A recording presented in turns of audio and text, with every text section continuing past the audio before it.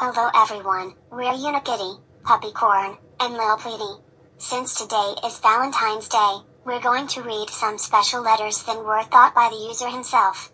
Alright Unikitty, you go first. Thanks Lil Petey. Anyways, this one is from Dora SpongeBob and Blue's Clues Yes Popper no. It reads, Dear Unikitty, you are the best cartoon cat I have ever seen. Toad deserves to be grounded, you guys deserve a sequel to your movie, and your show needs to have a fourth season. I hope you can continue to live Unikitty. From Doors of Fun Ock. Ah, that was a sweet letter. Alright Puppycorn, it's your turn. Alright sis, this one is from Dora.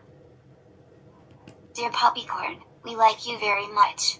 You along with your friends are our biggest fans of our shows and our movie. You like to help out with other people, and you are kind, brave, and sweet.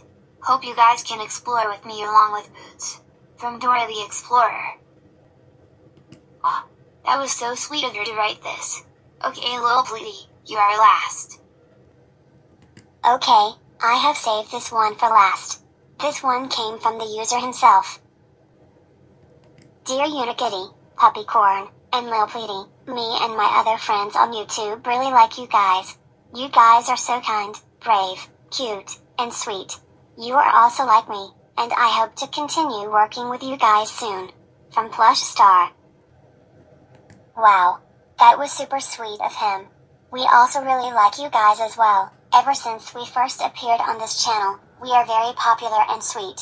Thanks guys for making us popular. Goodbye.